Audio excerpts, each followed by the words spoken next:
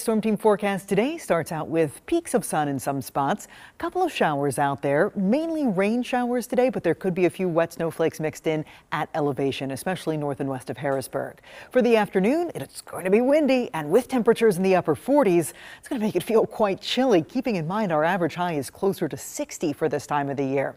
This evening, an isolated shower, brisk, chilly, temperatures in the mid 40s. Tonight, we drop to the upper 30s with a little bit of clearing. It's still going to be brisk and that's going to make it feel chilly. We could have some spots with wind chills in the upper 20s.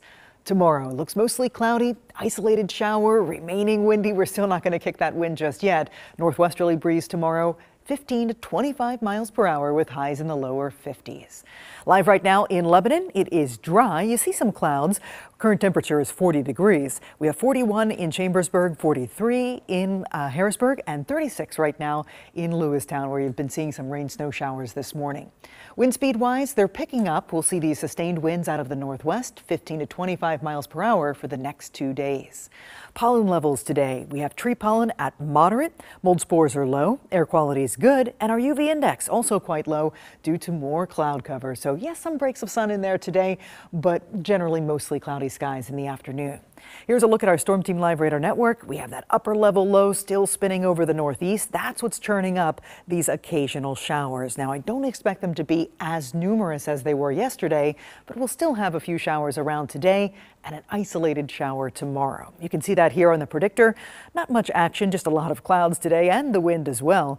For tonight, we see some clearing, but tomorrow those clouds come back in and we have a few isolated showers with some breaks in the clouds late. How about Sunday? Still looks like a dry day, still looks like a partly sunny to mostly sunny day, uh, but we will have some midday clouds there on Sunday. So here's a look at the predictor estimated rainfall totals. On top of what you already got this week, it is not a lot. You could have a couple hundredths of an inch additionally. So let's talk about the wettest years to date. I just ran these numbers. 2024 through yesterday is in the number three spot with 15.38 inches of rain. That's nice to see because last year at this time, we were running out of deficit.